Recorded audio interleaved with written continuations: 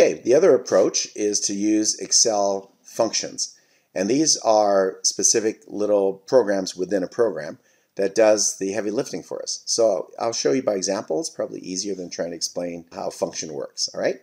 Here we have a table, and let's just start right here, which says, what if we know the present value and we're trying to solve for the future value?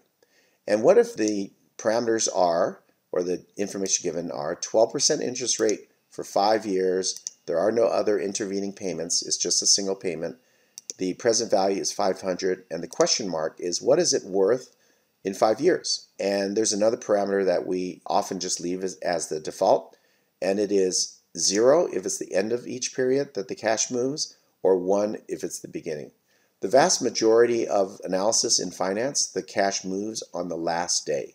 So that's why we can either put the zero or just accept the default and not have to do any more work. I'll show you exactly how that works in a moment.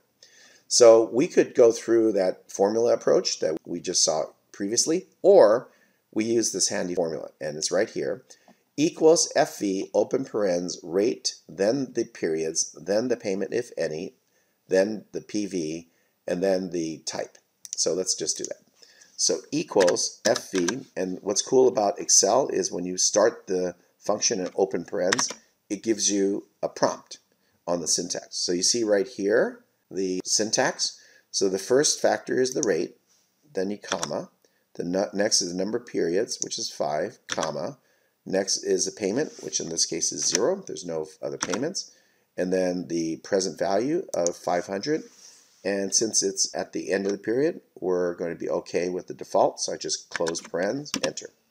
So what this means is if I get $500 now, because 500 is a positive number, then I have to pay out $881 in five years.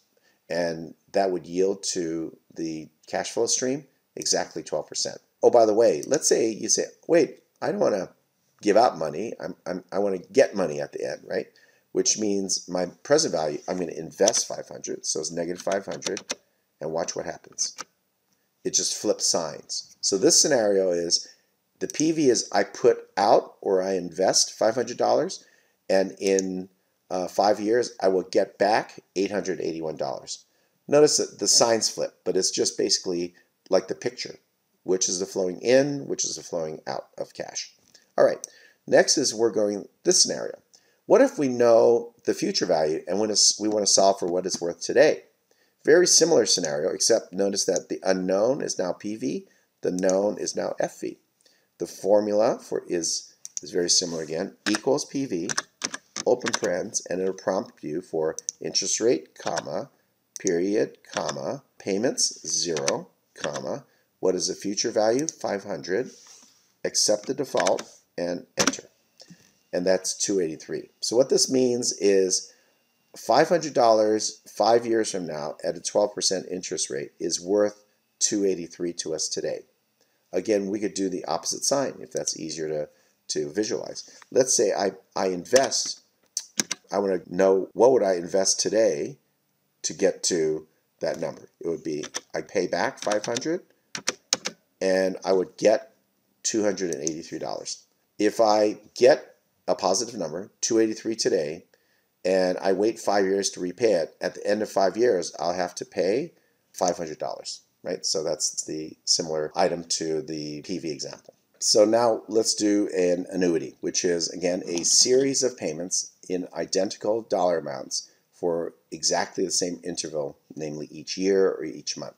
Let's just start with this part of the box. Notice that the format is exactly the same as above, and the function is even the same. We'll go with future value equals FV open parens, and what is the rate? 12%, comma, what is number of periods? 5, comma. What is a payment? And now we do have a payment.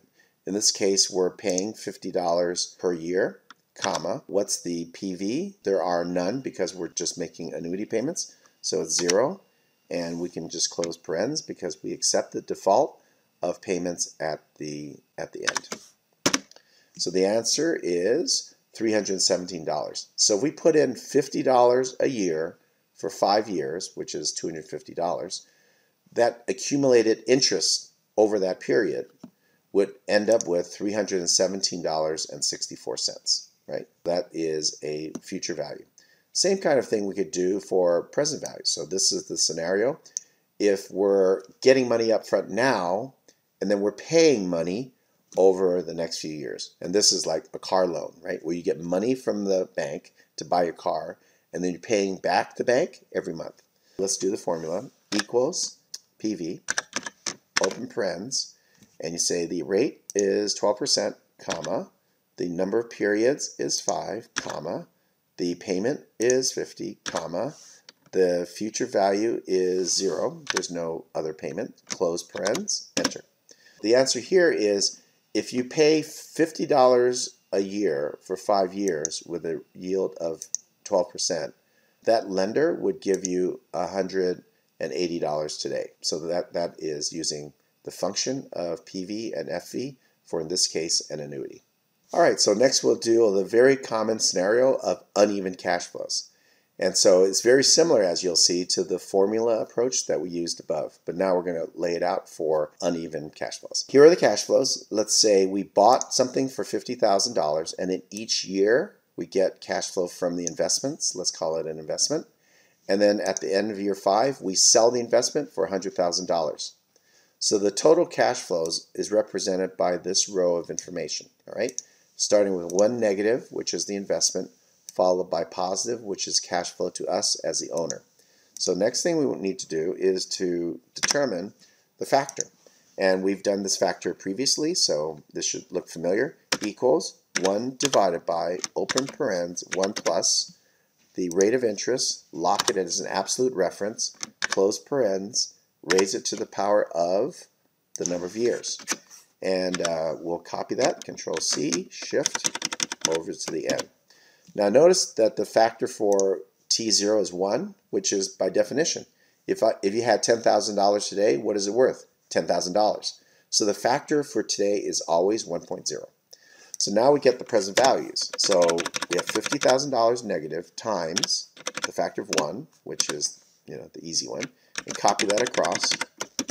And now we have this idea of a cash flow out of 50,000 in today's terms. Next year, in today's terms, $900 worth. So each of these cash flows are brought back to today. So everything goes back to what we call T0.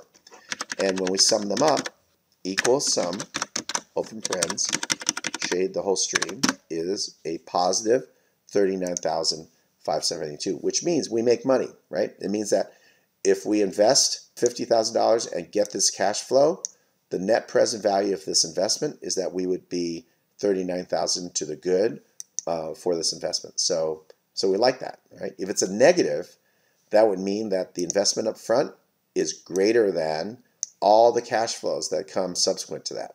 And that's what would happen if the sign flipped to be a negative, which means don't do it. All right, the last example is where we do the weighted average cost of capital and we use the net present value formula. So rather than use formulas, we're going to use the function. So this is a shortcut. I think you're going to like this one. So it's the same pattern, right? Same cash flows as we saw earlier, right above, right there. And it's the same interest rate, 8%. And we know that this number was the result of our calculation. Now, we can do this with one calculation. Equals NPV, open parens, the rate, which is 8%, comma, and then this is the trick or the trap even, for Excel is start with year one. Do not put in year zero. So it's only for the future cash flows. Close parens, and that will get the present value of years one, two, three, four, five. And then we have to then reflect the initial investment separately as 50. And when you hit enter, we end up with exactly the same number. Okay, We see that this NPV formula and reflecting initial cash flow is a shortcut to doing this fairly long calculation using the formulas.